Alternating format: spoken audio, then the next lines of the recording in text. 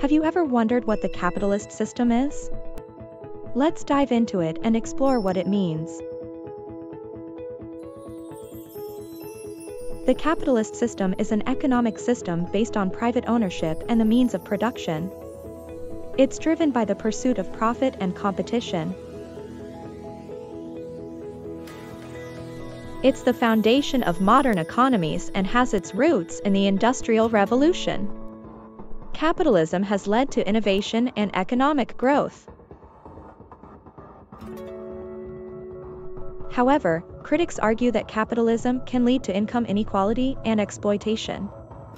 It's important to understand both the benefits and drawbacks of the system. So, why is it important to understand the capitalist system? Well, it affects our daily lives and the global economy. Let's stay informed.